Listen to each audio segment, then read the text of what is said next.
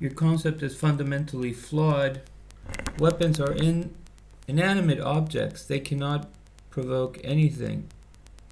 Well, that is incorrect right there.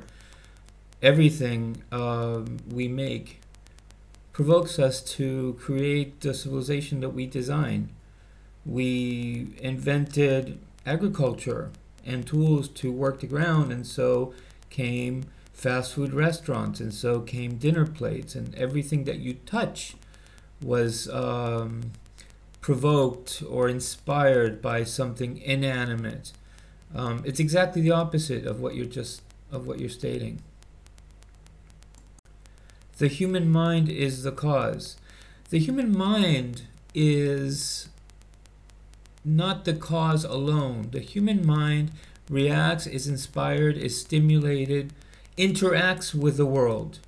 We are put in a world, in a physical world, with with hazards, with climate problems, with a bunch of things that we have to confront, with a and you know we interact with it. Then we take our hands, and our intelligence uh, is vastly different to animals, in that we can invent things and understand sciences and create engineering, and so our world becomes a fusion, a combination of both things of what we produce through our mind being inspired by other physical things, whether it's nat- natural things uh, like rocks falling on our heads from an earthquake and we have to build strong structures, to actually reacting and being inspired by our own physical inventions.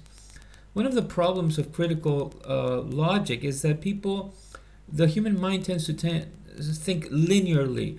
Because of this that because of this that. And existence is a is a space a three-dimensional space in which several things are true. So for example the result of civilization is not just because of inanimate objects not you know all this linear thinking. It's simultaneous things that you have to always be um, um, fusing how, how do you say it? Uh, crunching um, processing simultaneously. That's how you get to understand existence and human behavior, social behavior, is by crunching several truths simultaneously. And the result is always something that is also spatial and three dimensional. It's not the one single answer. The one single answer, the single story, is creating this horrible, limited, self destructive world that we live in. Okay, let me see. What else? Did, oh, I moved it. Yikes. Oops. Oh, there it is. Um, therefore, you seek. Therefore, if you seek peace but arm for war, you retain peace by showing potential aggressors. Yes, we are peaceful, but still prepared for war. I don't even know what to do with that. Um, it just changes too much. Um,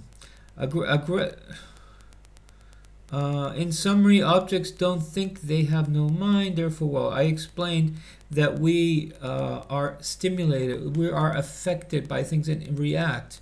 We have, if we had no weapons laying before us, we may get really angry. We may tell our friends, hey, let's join up against those people, like, like John says, monkeys do, that they will pick up rocks and throw them and create war. The, he defines war as just uh, clan uh, group dynamics where people they they stay in hostility for a prolonged amount of time, and yet we may even do that. But without the existence of weapons, we would not organize and plan civilization according to this introduced element facilitated by the weapons. We would not put it on the shelf and say, well, you know, if anything happens, we have an army and we could launch war. And when war happens, it's its own definition. It destroys another country. It kills innocent people. It, it, it, creates contamination. It's, it's, it's in a whole other category than the monkeys fighting across the river. You know, it's, it's, it's our own thing. It's a definition that applies to something humanity has done, not something that is found in nature. There are a lot of things that humanity has done which are not found in nature we have built skyscrapers that you know stand like a spore and for the reasons of living in it. You know, nature kind of would would have would have said, "Hey, wait, it's too impractical, windy." Uh, I give I, I do like a, a 0.10 earthquake every every so often. That's never going to stand. It would never have produced such a such a habitat for for um, for um, termites or what have you. We create things that exceed the envelope of, of nature's greater wisdom. And so we're still struggling to be true to ourselves, which is basically coming back to nature. The ideal there is, and it's not coincidental, that we have a diplomacy and that we uh, feel that in, in many ways uh, war is wrong and uh, we fight and protest and uh, oppose war and, and you know what where do you think all that comes from? You think it's just weak people? I mean what i question is why are people in this group so bent on supporting war as if it is the prime uh, vanguard conclusion of human civilization.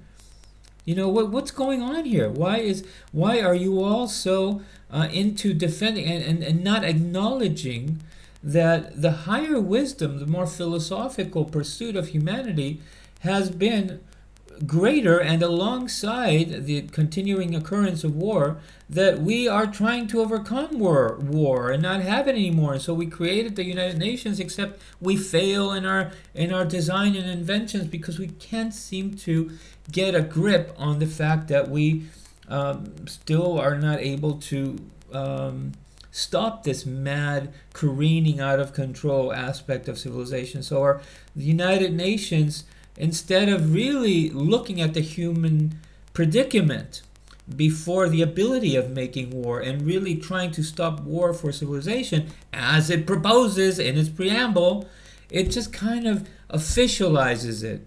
It kind of says, oh, you know, well, you know, let's honor treaties and let's just tell people to stop uh, to stop, and then we don't resolve the problem that caused the war. The United Nations is useless. It kind of just makes it official. It makes it formalized and defines the the uh, the development of uh, militant situations. Okay, that's it. Seven minutes. That's the shortest one. Don't complain.